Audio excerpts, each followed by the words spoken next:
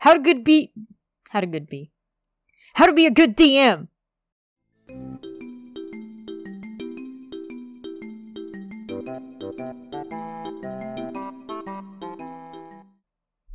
All right, I see this question a lot.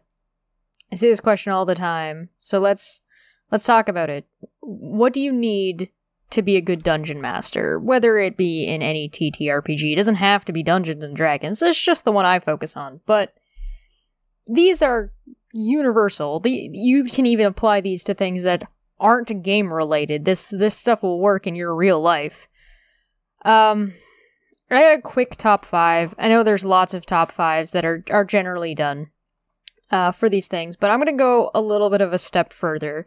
This video is going to cover just the the the top five things that I think are useful and and helpful, whereas once this video is complete, that'll give you a rough overview of each of those things. There will then be a follow up video for each one. So check the annotations and check the description below. Um, as I get to each one of these, there should be a corresponding video that will go in uh, a little bit more in depth uh, to each thing as well as how to then apply it to your game or apply it to an in real life situation so that way you can you can take these yeah put it on your resume so let's let's just dive right let's roll initiative Communication. Communication is probably one of the more important ones. Uh, a, a DM needs to understand that they're not just communicating themselves or talking to themselves, they're talking to players, but they're also talking to characters. So it's up to the DM to be able to communicate between DM to player, character to character, and player to player, and all the other corresponding ones like DM to to character and and a DM's character to a player character or DM character to a DM character or a player character to a to a player to a DM it's there's there's a lot of moving parts. And if you can keep track of that and sort of understand how your individual players communicate themselves because not everybody communicates the same way, then you're going to have an, a lot easier time. If you also understand how you communicate as as a person, that will help you immensely in your day-to-day life, but also in helping other people understand you. So, whether or not it's making players, whether or not it comes to confrontation, uh, whether it be in character confrontation or player confrontation, or you've just got a player who's trying to, you know, wreck your good old time, um, a lot of that stuff isn't usually intentional. So if you know how to communicate or at least recognize uh, different tells on different players about whether or not people are uncomfortable, you're going to have a lot easier of a time. Improv. Being able to improv is very, very, very helpful for a dungeon master. Um, if you can think on your feet and sort of come up with uh, come up with a a character or a person on the fly, sometimes it's handy to have like a backlog of NPCs or a backlog of just traits or little mini stories that you can throw on any character. Super duper helpful. It's also really helpful if you have uh, a player that can't make it that day, if you can sort of improv a situation that delays the party for whatever reason, or if you have um, uh, a combat, you can if, if you are can improv a way either around the combat, or if you can improv a way to um, adjust. Uh, adjust your combat so that way it's still well scaled and well balanced. Um, being able to improv different rules and problem solving or utilizing different rules to solve problems very very helpful. And you know it's nice to be quick-witted. It makes for fun, some fun role-playing situations. Um, this is just a general useful charismatic thing to be able to do even in your real life. If you can kind of think around um, uh, people's people's problems or people's issues it's super handy dandy. Um, flexibility is the next one. Um, being able to bend the rules is very useful. Being able to bend the rules without breaking them, very handy. Uh, being flexible in your schedule as well to be able to meet with players, because um, sometimes people need to meet and talk um, about what their player, uh, like what their characters are doing or whatever's going on in their life. They're going to miss some sessions, whatever. Being creative is part of flexibility, in my opinion. Being able to create maps um, and monsters and encounters and being flexible about how you utilize them. So if you see somebody's map that you really, really like uh, and you want to use it, but it's an underground map, just reflavor it just just reflavor it. Uh, same with spells. If somebody wants to be able to cast like the equivalent of a fireball, but they want it to be acid, just reflavor it to acid. Be, be flexible about stuff like that. Um, railroading is something that that comes with flexibility.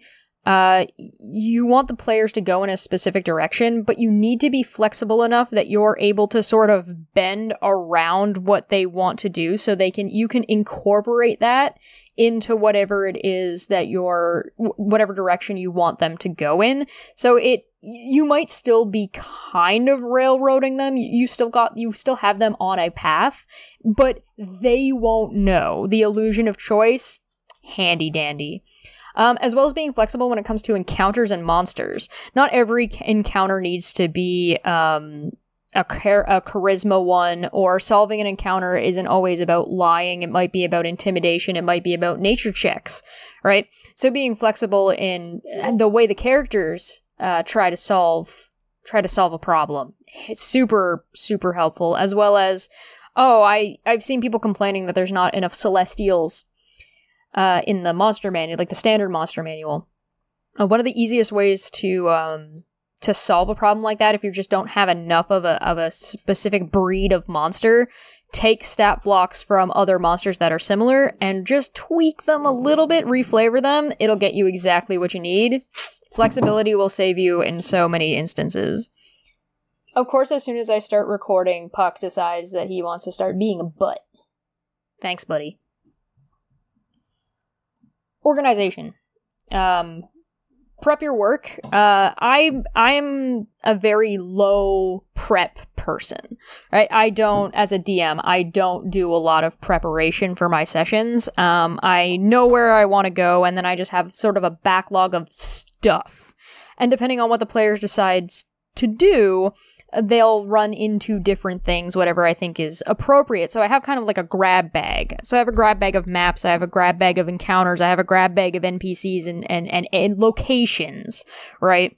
So the story doesn't tend to change too much. Like the overarching themes remain the same, but it doesn't ultimately matter what direction the players go because I the way I've got my stuff organized means that they can do whatever they want and it doesn't upset the overall issues of, of what's happening.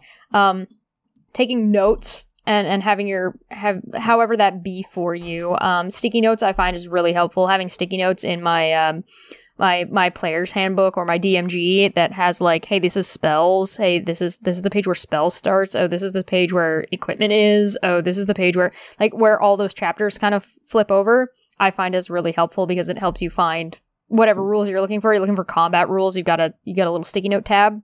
Handy, handy dandy. Um, keeping your maps organized is a I struggle with that one, but if you can keep that stuff like in like tubes or like if you have like a if you're working digitally and you can keep your stuff organized in files, that's handy dandy. But if you're in real life, I mean, good luck because those maps get big. Um, I like to take pictures of them.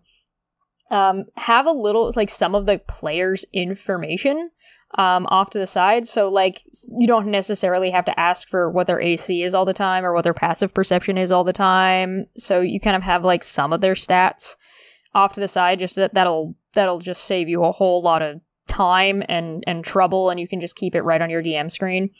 Um, and like I like I said, I have a stack of like NPCs. So if I ever need an NPC, I just whip one out, and I'm just like, "Yo, this is Greg. He's a